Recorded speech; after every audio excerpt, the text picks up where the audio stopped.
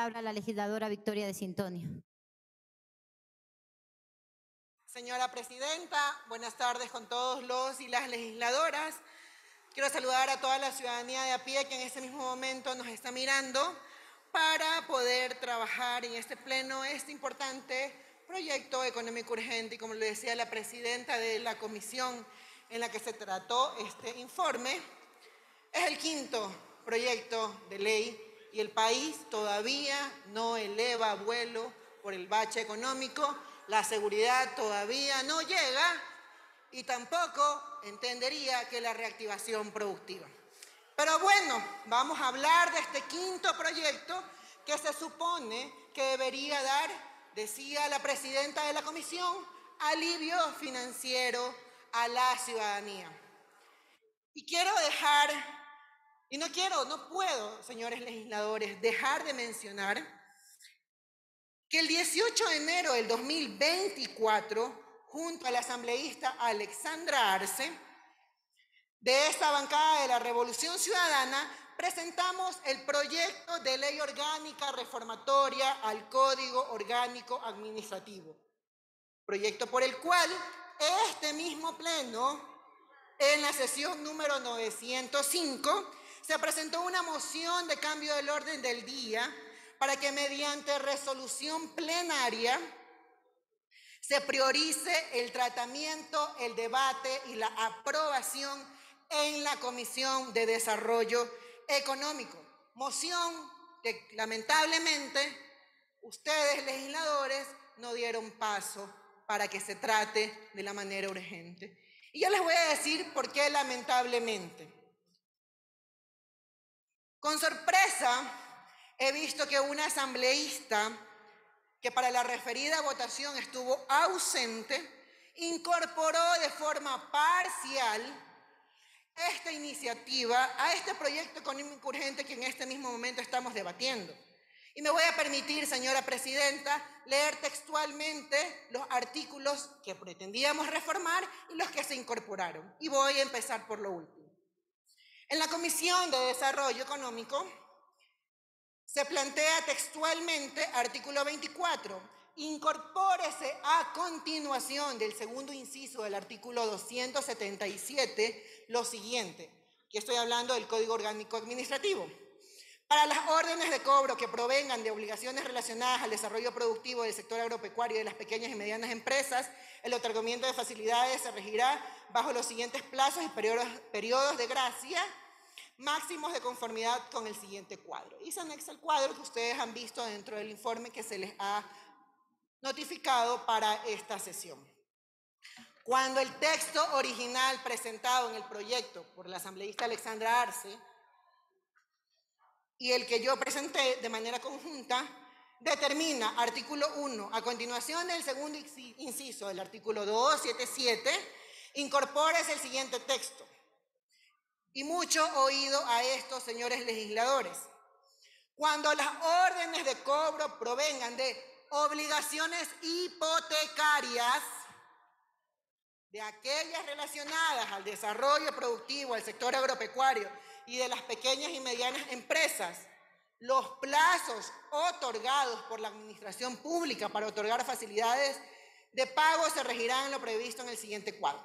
Y aquí me voy a detener, señora presidenta, porque es imperativo decir, señores legisladores y señoras legisladoras, que nuestro proyecto de ley tenía como objetivo beneficiar y generar alivio económico, del cual se está hablando en este momento, a los más vulnerables, a la clase media y a la clase media baja de este país, aquellos que tienen juicios de coactiva por hipoteca. Y lamentablemente, solo se ha incorporado de nuestro proyecto de ley a los agricultores que bien merecido lo tienen, pero que nos digan la verdad. ¿Por qué no se incorporó a quienes tienen juicios de coactiva por hipoteca? ¿Por qué no se incluye a esa clase media y a esa clase media baja que también necesita alivio financiero en este país? Porque para eso son las leyes económicas urgentes. Y continúo. Estas personas que necesitan este alivio económico son aquellos que no encontraron en este famoso plan Casa para Todos un espacio para poder vivir con sus familias y les tocó endeudarse. A esos ex servidores públicos, a esos ex trabajadores que por la pandemia no han podido pagar sus créditos hipotecarios, también hay que alzar la voz y por eso pido a la comisión que se incorpore el texto completo del proyecto de ley presentado de manera conjunta con la asambleísta Alexandra Arce a este proyecto económico urgente. Queremos darle respuestas a la gente, queremos dar alivio financiero. Este es el momento, señora presidenta. Un dato que es importante y lo voy a repetir, solamente uno, la asambleísta Arce ya lo planteó hace un rato.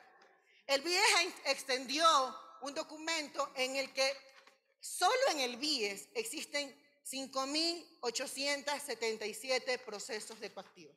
Y no son números estos, señores legisladores, y lo vengo repitiendo hace rato. Esos números que nos ponen en estadísticas no son solo números. Son personas y son historias, son familias que necesitan y están pidiendo auxilio.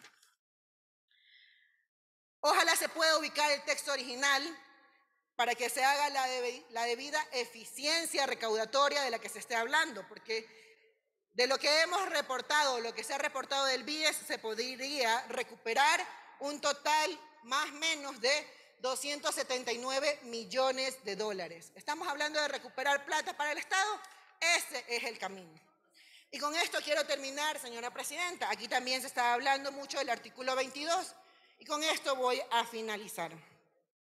Se decía que el Estado necesita o el Ecuador necesita promoción turística. Se decía que el, país necesita una marca turística. Queridos compatriotas que nos escuchan, legisladores, en la época de la Revolución Ciudadana no se necesitó privatizar nuestras áreas protegidas para poder elevar la promoción turística dentro del Ecuador. Lo que sí se necesitó fue voluntad política para que las comunidades no se queden solas y se pueda generar turismo comunitario, entre otros. ¿O es que acaso el Ecuador no tuvo sus mejores o los mejores ingresos en turismo en la revolución ciudadana. Eso quizás lo están olvidando, pero en todo caso, he venido aquí para recordarse, los queridos compañeros, porque a pesar, y esto lo quiero dejar claro, a pesar de que se incorporen las observaciones al artículo 277 del COA, eso no es cheque en blanco para que ustedes crean que en el artículo 22 van a privatizar las áreas protegidas del país. Que les quede claro, señores legisladores, porque ahí tienen que poner un candado, que no solo que no se privatizará o no se enviará a terceros, sino que no se, no se va a privatizar y tampoco se va a concesionar. Piensen en las comunidades de este país, piensen en el turismo comunitario, piensen que teníamos un ferrocarril que generaba eso. A eso me refiero con voluntad política. Me refiero a pensar en la gente de manera integral y no pensar solo en las grandes chequeras. Insisto nuevamente, que ustedes incorporen muchas de las cosas que estamos peleando en esta asamblea, no va a ser un cheque en blanco para que nosotros y nosotras, desde esta bancada, apoyemos la privatización de nuestras áreas protegidas. Muchas gracias, señora presidenta. Tiene la